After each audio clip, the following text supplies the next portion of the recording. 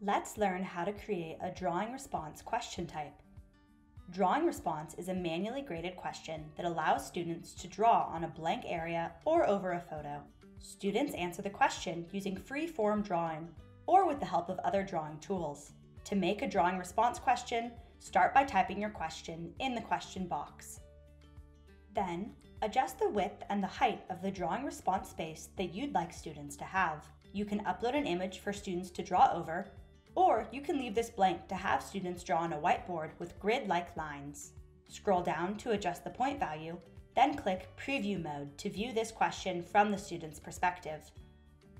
Students can use the shape creators to easily drop in triangles, circles, or squares.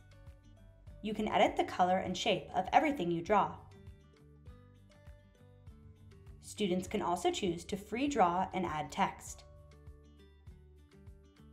A ruler and protractor are available for measurements.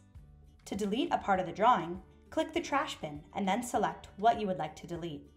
Then, click the trash bin again to go back to normal. Finish up by going to metadata and adding in any standards information. Finally, hit Publish to make the item available for assessment use.